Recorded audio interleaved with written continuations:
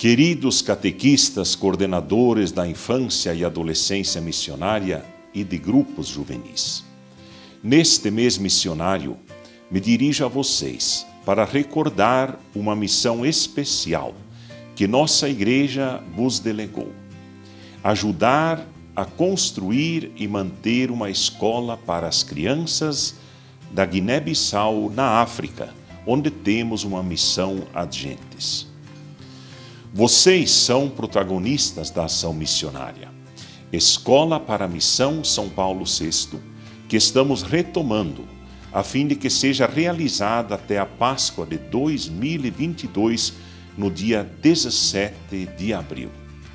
Sabemos que podemos contar com vocês, que tanto já fizeram por essa missão, pois em outras ações missionárias vocês já foram protagonistas ajudando a construir um poço artesiano que hoje é fonte de vida para muitas pessoas e também a enviar 25 mil Bíblias que têm alimentado e fortalecido a fé dos cristãos daquele país.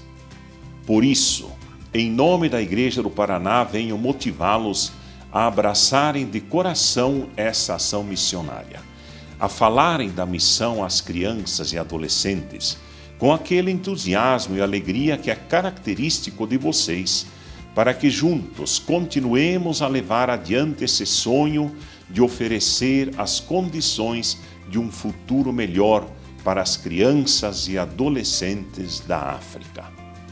Que neste mês das missões, os padroeiros Santa Teresinha do Menino Jesus e São Francisco Xavier vos abençoem e conduzam na missão, em nome do Pai, do Filho e do Espírito Santo.